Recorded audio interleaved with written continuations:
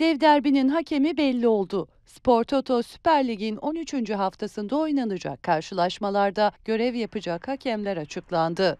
Cumartesi günü Fenerbahçe ile Beşiktaş arasında Şükrü Saracoğlu stadında oynanacak derbi maçta FIFA kokartlı hakem Cüneyt Çakır düdük çalacak.